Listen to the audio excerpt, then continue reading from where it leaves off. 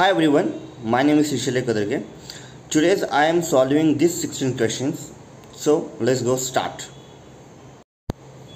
So first question is write a code to the check null values.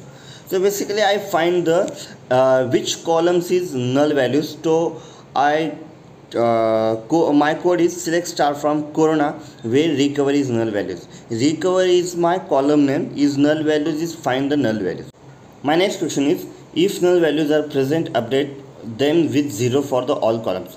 So basically i am finding the uh, which columns is null values to provide to the automatically 0 values. So uh, i am used to the annual functions. Annual function is used to the automatically uh, where is null values to automatic to the provided 0 value third question is checks total number of rows. So basically i use to the uh, count functions. This count function is the aggregate functions count means total the columns rows is count. Uh, next question is checks what start date and end date. So basically i used to the two aggregate functions. First is mean functions and max functions.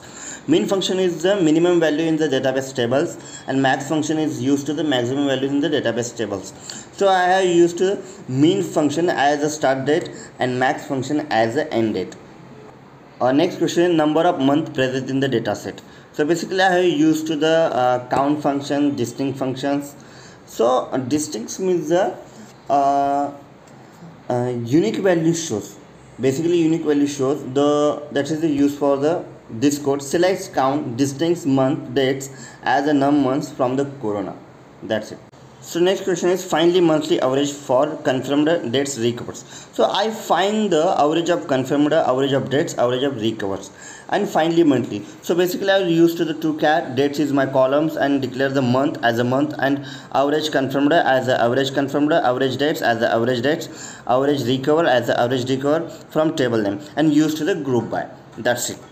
Next question is find the most frequent value for the confirmed dates recover each month so basically uh, used to the frequent value is the largest uh, data in the table. So large used to the max functions uh, max confirmed max date and max recovers each month to declare to the dates in month and used to the group by. That's it.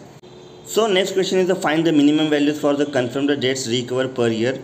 So basically similar to the uh, seventh questions but is used to the minimum values to I uh, uh, use to the mean values and mean confirmed mean dates and mean recovered. But its changes is a per year. So declare to the TO_CHAR dates and y y y y as a year and use to the group by. That's it so next question is find the maximum values of the confirmed dates recovered per year. So basically i use to the group functions and uh, max functions. Max uh, max max confirmed max dates and max recover but its changes is a per year. So TO_CHAR dates year as a year that's it. So next question is the total number of the each of the confirmed dates recovered each month year. So basically i use to the total number of cases to the sum functions and uh, uh, cases of confirmed to uh, each month year to TO_CHAR dates month as a month and TO_CHAR dates uh, as a year. And sum confirmed sum dates and sum recover from corona and group by used to the group by. That's it. Next question checks how coronavirus spread out uh, with respect to the confirmed case. For example total confirmed case their average variance and STT so basically I used to the count confirmed as the total confirmed and average confirmed and variance confirmed and STT confirmed from corona. That is very simple this. Next question is checks how coronavirus spread out with respect to the date case per month.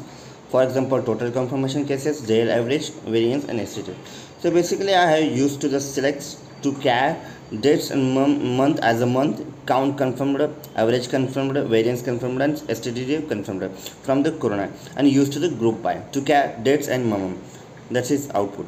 Next question is checks how coronavirus spread out with the respect to the recovery cases. For example total confirmed cases their average variance and estimate so similar to the airtel locations but is used to the count recovered count confirmed and average recovered variance recovered and STT recovered.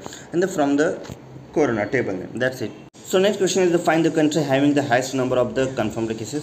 So basically i used to the select max uh, column name and the from the corona that is the maximum values in the uh, show in the database tables. That's it. So next question is to find the country having the lowest number of the dates cases. So used to the select mean uh, functions. So code is select mean uh, dates is my column name from the corona. That's it. Uh, so next question is to find the top uh, top five countries having the highest recovery cases. So basically i used to the uh, uh, dense rank over uh, and uh, order by. So is, this is the windows functions. So select star from select country sum recover as a total recover. Dense rank dense ranks means uh, um, uh, ascending uh, required show. Over order by sum over means windows functions. And sum is recovered uh, descending okay? As a rank from the table name and used to the group by country and order by total recover descending where rank less than equal to 5 so basically uh, output is the only top 5 countries shows that's it